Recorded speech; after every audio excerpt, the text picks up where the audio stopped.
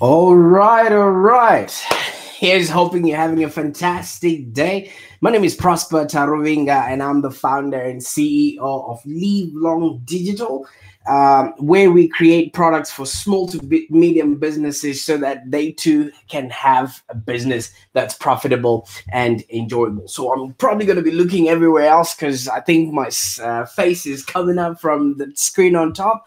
And I also have a lot of things going on behind the scenes. So today we're talking about the top reasons why a lot of people um, failing, especially when it comes to the digital marketing. And it's not their fault. I mean, obviously, this thing is not more than 30 years old. And if you would, um, you know, think back, I don't know how old you are, but you would find that all this uh, social media and all this digital marketing everybody's learning as we go. So uh, digital marketing and search engine optimization those are the things that we actually help our clients with. And they actually have the potential to send a steady stream of um, of clients to your website and actually generate leads and sales. It actually works really well if it's done right um you know and and some people just maybe don't have the patience or the time that we put in to make sure that um, this happens. So I'm going to be talking about some of the things that some of our clients come to us with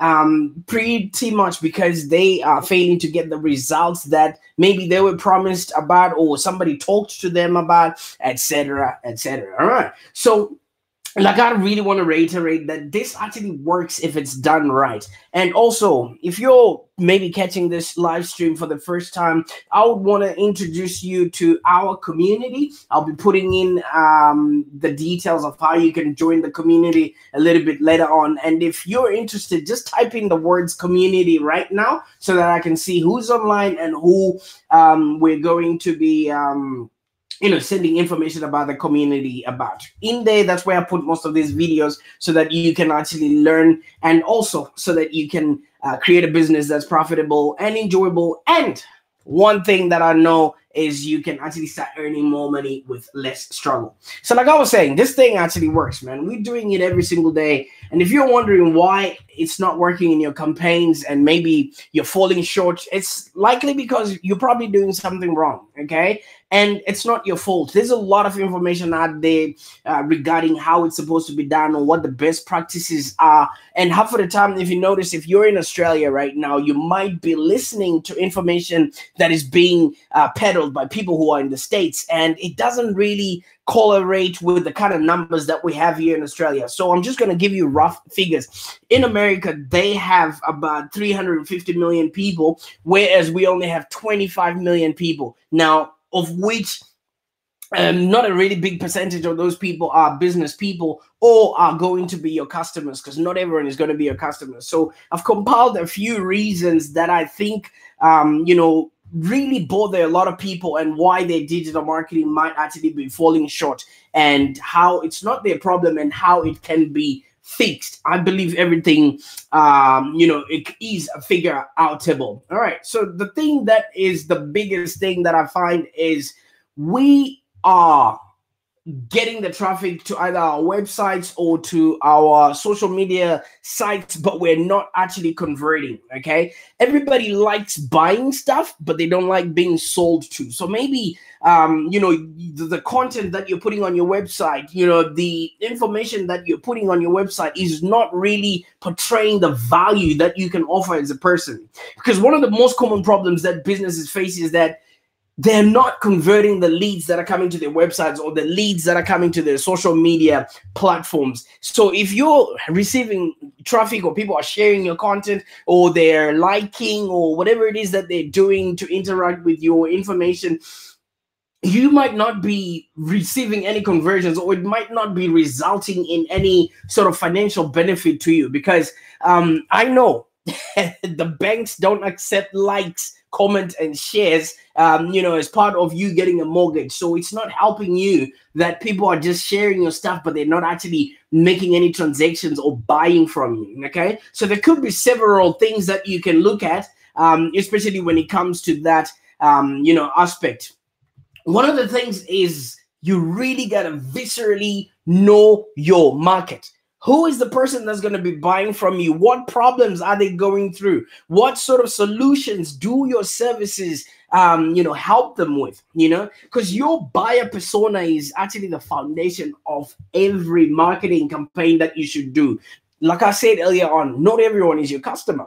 So if you don't know who your customers are, what they want, or what makes them tick, or what makes them actually buy, then who's to say that you're even attracting the right kind of audience? All right. Because if you're going to be spraying and praying with your marketing, it's not going to help anyone. And these days, every person that's out there who's got a mind or two of their own is bombarded with information already. Okay, how are they going to know that this message pertains to them? How are they going to know that this has got value to them so that they can stop whatever they're doing and start listening, um, you know, to your content? Okay, right. One of the things that if you know the right kind of um, you know uh, people that you're sending information to, you need to write better copy all right. Now, copy is just the words that are put on your website, words that are on your blog, because people are coming to the internet to get information. And if you want to stand out, you're going to need to invest in really good copywriters. And I can understand you might say, ah, Prosper, you know, copywriters are not cheap. But you know what? This is an investment towards your business. Okay. English for me is not my first language. So if I start, writing the way I speak. Sometimes some people won't have the patience for that.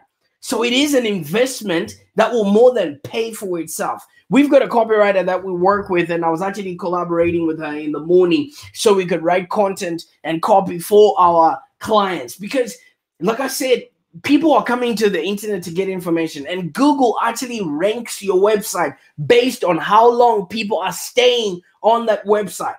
The more they jump off and bounce off it calculates what's called your bounce rate so you want to make sure you have the right kind of content the right kind of tone you know and and the right kind of consistency that people would actually understand and it actually makes sense for them to continuously uh, consume that content. Like i said people are bombarded. No one is going to wait until you get it right. So the copy that you include in your blog articles in your marketing copy across pretty much all platforms and your landing pages, your emails, all of that has to reflect the value that you can offer within your brand. One other thing that i've also noticed is if if you don't have the right grammar if you don't have the right um, information people are actually going to just assume that you don't have the solution. And i can see giselle has just joined in. Thank you so much for tuning in um, it, it, it, really makes me excited when people like yourself that are also doing things, um, you know, are paying attention to what we've got to give out here. So cheers for that. Okay. Um, and Giselle, let me know if you want information to join in our community, and I'll make sure that you have that. Just type in, um, you know, the words community if you want me to send you information um, about the community where I put all these videos. So if your content is not consistent, if it's written poorly, you know your clients or your prospects they're not going to take into consideration um, whatever it is that you're saying because these clients or your audience are already on a journey they are on the way to go somewhere they are not buying the pen that you're selling. They're not buying the book that you're selling or whatever selfie stick you might be selling.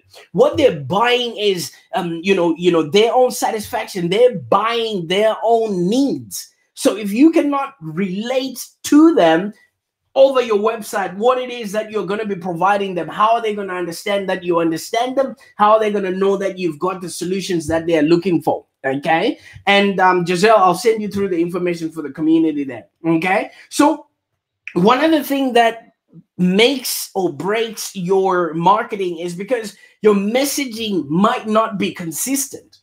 Okay like I said, people are being bombarded with information. If today you're talking about, say, um, let, us give a specific example. Let's say you're a financial planner, and today you're talking about diversifying bonds. Tomorrow you're talking about, um, you know, shares. Tomorrow you're talking about maybe real estate. People would not find what direction you're heading, and they don't want to, you know, wait until you've figured it out.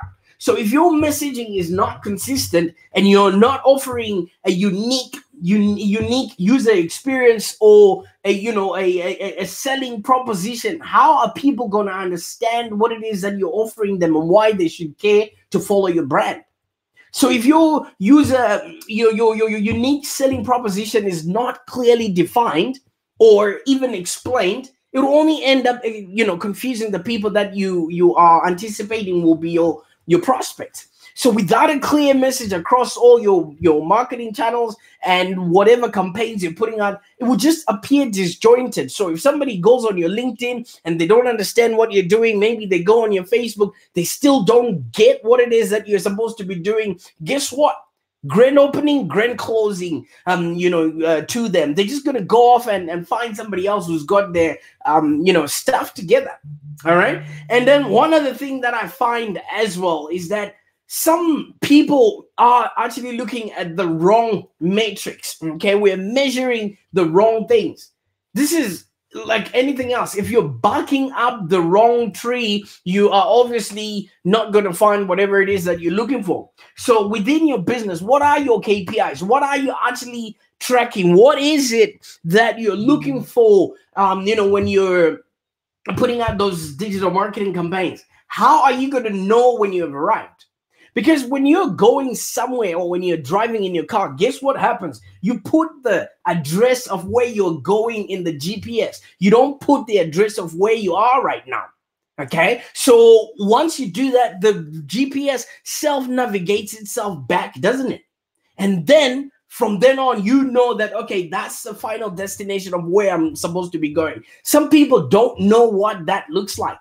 So if you put in KPIs and anything else that will help you figure out what your campaigns are actually doing, are they generating leads or are they for brand awareness or are they actually just so that you have information or content out there? So if you're tracking the wrong metrics, you know, you will keep sinking money in areas that don't even improve your conversions. How are you going to know what results you're getting if you don't know what you're measuring? Right? So some people that we work with um you know they own a website obviously and they want more sales say for from their email campaigns. And then they start you know tracking the click-through rates and whatever sales are coming from those um you know clicks. That's a no-brainer. However they often miss the valuable metrics like how many people have actually opened the emails over time and how many people are actually reading not just the clicks because guess what? Uh, what other people just do? They open an email and look at whatever is highlighted and then click through to that. And then if they find that it's not anything that they want, guess what? It's not going to help them. So if you're measuring click-through rates, you know, of landing pages and opt-in pages, other people are some people are just curious. And it doesn't mean that they're actually doing anything um, you know, with the, the the the content that you send them. Or some people might not even open the emails. Or some people might open the emails but might not need that solution that particular moment. So what are you supposed to do when you're looking at the wrong matrix? You need to switch your focus from um, if you're measuring rankings or if you're measuring conversions you need to focus on the one thing and whatever goals you are expecting that particular campaign to yield because there are so many vanity matrix that some people follow through. How many shares likes or where your keywords are ranking? Most of them are useful because most of the work that happens behind the scenes within digital marketing you can't measure it. So the only way you can track these things is to look at the, the things that are obvious okay? So those things might be useful but they shouldn't they shouldn't interfere with the conversions because conversions are where the money is at so you want to track the valuable conversions, like how many people actually pick up the phone and ring you? How many people actually click the link or submit the form or whatever it is that you've asked them to do? How many people actually download the little widget that you're selling to them? Or how many people actually start chatting with you on the live chat? Because once you measure this, then it will start telling you which are the top performing channels and what should you put all your resources in instead of going in for vanity metrics when you want to just maybe satisfy your competition as if you're doing much when you're actually not doing a hell of a lot right so when you know what is actually working then what's working you keep what's not working you ditch All right. And half of the time, most of these things that happen within the social media or digital marketing front is, is, is not quantitative sort of data, is qualitative. All right. I know numbers don't lie, but it also pays to look at, at, at the qualitative stuff of it. How many people actually understand what your brand stands for? How many people would actually talk about you at a barbecue? How many people actually know what your brand values are? A lot of people, if you ask them what Nike stands for, they would just give you the rebuttal, just do it, or something of that effect. You know, and we know what other brands stand for, but nobody knows what your stories are. Nobody knows where you came from or where you're headed to and why they should actually care that your business exists. All of that information, who is measuring that? So sometimes we end up measuring the wrong things and then we now blame, you know, um, digital marketing and saying that the stuff is broken. Of course, the qualitative stuff is okay, but the quantitative stuff, which is, I mean, the quantitative stuff is okay, the numbers and everything else, the numbers don't lie, but the qualitative stuff, you're selling to people that have their needs, their wants, and expectations. How are you meeting those? What do people say about you when you're not around? That's how you measure brand, um, you know, influence and everything else. All right. So you want to know what people are actually saying and and and who is actually supporting your brand and where they're finding you and how they're sharing your content to you know to their peers. And this is why it's important to start running campaigns on the right channels. A lot of us are running campaigns on the wrong channels. All right. Your business might not have any use to be in, in, in on Instagram your business might not have any use to be, um, you know, on LinkedIn. All right. But then you are just doing it just because you read from a blog that Sally wrote when she was depressed. All right. So this goes back to what I mentioned a little bit earlier on knowing your buyer persona. Who are you selling to and why should they care? And if you know who that person is, you definitely would know where they congregate.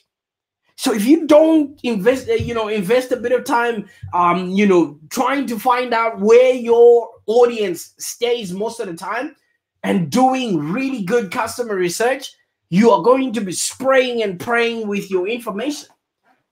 You know, whatever clever gimmicks or giggity gags that you can put out there. Because if your audience is not on TikTok, why are you TikToking? You know, so whatever clever marketing ideas you might post on social media, if they fall on deaf ears, have you even tried anything? Okay. So when you understand your audience, all right, you understand what they're doing in this particular moment. You understand, you know, what what what they're going through. Because a lot of people, if you understand what their problem is, definitely you would have a solution to that. And there's no getting away from it. Do your customer research. How are you going to serve people that you don't know what their problems are? However well you think you actually know what your customer base looks like, or whatever you think your customer is going through right now, chances are you do not fully understand them. These are human beings, all right? Even your partner right now is growing. You see, I've got a five year old kid. the last time I was doing this video, she was about two. I was about to say I've got a two year old. No, I've got a five year old kid. In the last five years, guess what? We've watched her grow. She's flourished. The things she's liked has changed. All of those things.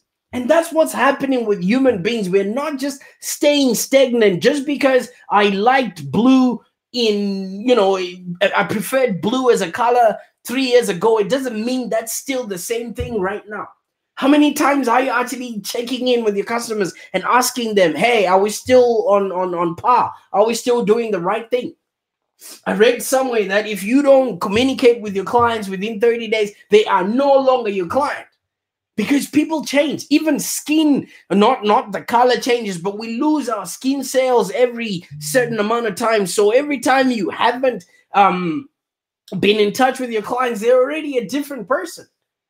And the more you don't keep in touch with them somebody is listening to them because people don't just keep quiet. So you need to ask questions. Like who are they where do they hang out online? How can you be of service to them? You know?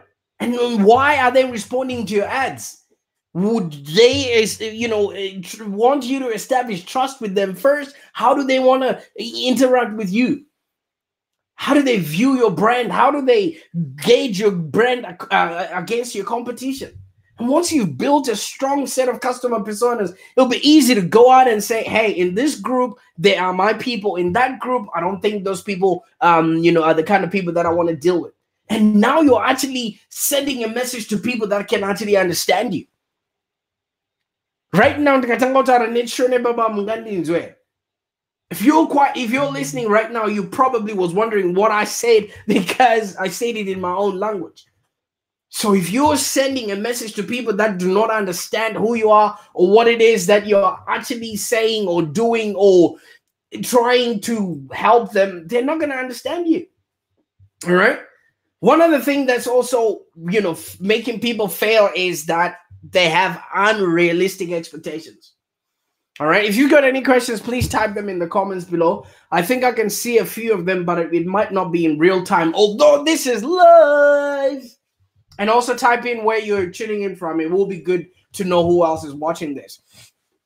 Okay. As millennials, I know we've got this whole uh, instant gratification that you know if you send Sally a text message, she will immediately respond. If you type in um, you know a couple of numbers or whatever um, and call a cab and Uber arrives and now you can order food that way you can literally order anything under the sun as long as you say okay Google I thought she was gonna respond because she's always listening. So a lot of people have a, a, few unrealistic expectations based on who they are or what it is that um, you know they they they think their business is worth. You know, so before any sort of campaign starts, look, you know. Like there's a problem. Yes, there is a problem, Google. Thank you. All right. so before any sort of campaign starts, you need to first establish the realistic expectations. And by realistic, I'm saying real world expectations, not the way you want the world to be, but the way the world actually is. No one is expecting your post right now. No one is expecting your tweet right now. So that's being realistic. How are you going to break the pattern when somebody's busy scrolling or doing whatever they're doing in their life? How are you going to stop them from just going through their day and pay attention to you? Because nobody cares. No one cares. All right. So a lot of business owners they make the mistake of working with very limited resources, putting out one post and think that's it, and not dedicating enough time, money, and effort to make sure that their campaigns are working. Just because they read somewhere in a blog that oh this and this works, etc., etc. Yeah. So this will only set you up for disappointment, and I call it a crisis of anticipation you know, and then they stop campaigns before they've even started. You know, Sally is not waiting for you to get it right. Sally is not waiting for your post or your tweet or your blog right now. She's busy living her life. How can you be part of her conversation? How can you be part of a day to day existence? That's being realistic. So you want to set smart goals. Obviously, I don't know if they taught you in like entrepreneur school. It's like what? Specific, measurable, achievable, relevant, and timely. Because these are the goals that will be achieved in a cost-effective manner. You know, like some people come to me and say, Hey, how am I? How long will it take for me to rank number one in Google SERPs? These things take time. Google was not just waiting for your website to, to arrive. There are other people that are already in line for that. So I want to tell you to be patient. All right. The digital campaigns that actually take time for them to produce results. You can run a campaign today just to get data and then put another campaign to act on that data. You know, like SEO and content marketing, for instance. This can take months before you even start to see the needle moving. Social media marketing, even so. Because these people are not just waiting for your website to come today. It's just a long game that needs to be played, and you got to be realistic about how long it's going to be before you actually start seeing your return of investment. You know, no one is just waiting for you to be ready, man. No one is just waiting or is going to come and knock on your house's door and say, hey, right now, this is the right time for you to start putting content out. Competition is tough, especially in SEO, you know, because SEO can get really technical and daunting.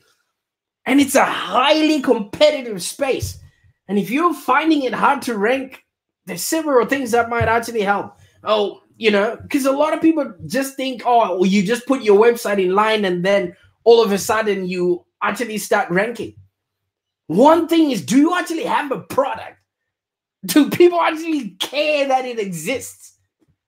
Or are you just a me too, you know, commodity that's out there and you're hoping that you whatever you've put out there, people are just gonna triple stumble and fall um, while you know looking at whatever your mediocre content would be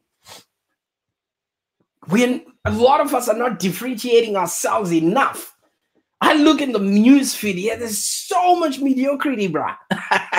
Sorry, I'm getting to, um, yeah, scrolling through my news feed, I'm just like, bruh, do you even tie your own pants from the things that you're saying and you expect people to just, whatever, hand you money or whatever it is that you're expecting? Anyway, you know, so if you're not differentiating yourself, you should check out what your competitors are doing and see what it is that you're doing. All right. And then try and see how you're actually filling in the gap. Try and see how you're being different in, in, in, in the eyes of the people you're going to be demanding money off of. You know, for instance, if you're not putting out content, if you're not adding videos on your um, in, in your in your whole you know arsenal of things that you're doing if nobody knows who you are or what it is that you do, or if they cannot even defend you to themselves, let alone to people who are also going to help them make decisions, how do you think you're going to survive in any um, you know conversations? Because half of the time, our competition is not you know the the, the same the, the people that sell the same widget as us. Our competition is our customers' brains. Where do we sit in their brains, and how do they know that we are the people with the right kind of solution to help them out? You know, are you also showing up every single day? I mean, I, I can't say much, but I know that somehow some of my content pieces are seen every single day because maybe it's stuff that I did years ago, and then um, you know, I repost it so that people can have an opportunity to see that, hey, wait a minute, this guy is still current, this guy is actually relevant. So you can also write about stuff. I'm not saying show up in video. What how are you how how how do you show up to your clients? Because people are coming to the internet to get information and if your business is the one that's providing that information, they get to know you, like you and trust you. And people do business with those they know, like and trust.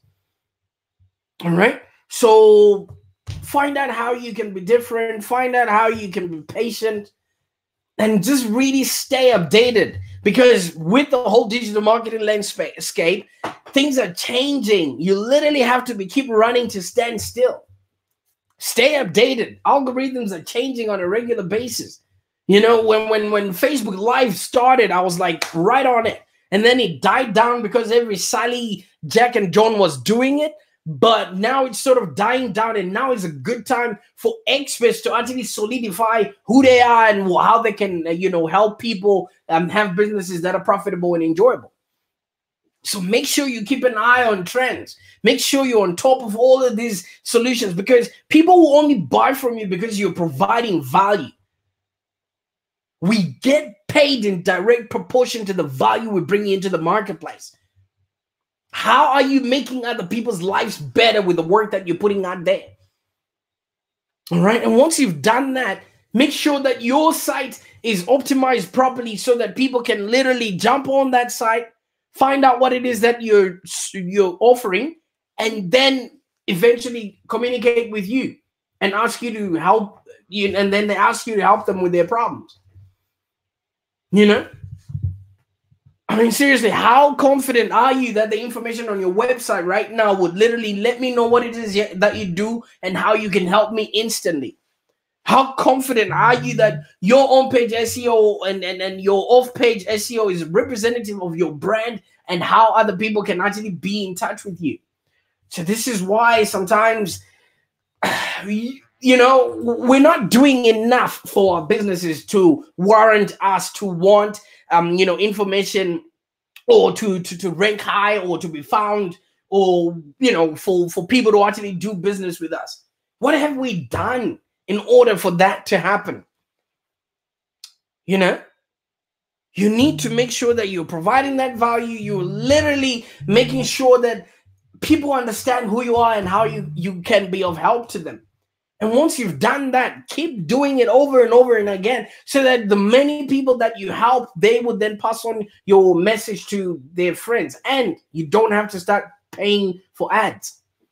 So you might want to think about conducting maybe an SEO audit or um, you know a social media audit. I would like to help you. So if you look at on the screen right now, um, type in the words community.livelongdigital.com.au and come and join us in the community. I think we've got about 300 or 400 um, you know, um, small to medium businesses. Some of them are not that active, but the ones that are in there are literally creating businesses that are profitable and enjoyable. All right. This has been fun creating this. Um, it's the first time I have done this this year, and I'm supposing if I keep doing one of these, it will be amazing. So in the comments below, I want you to write topics that you think um, we should talk about.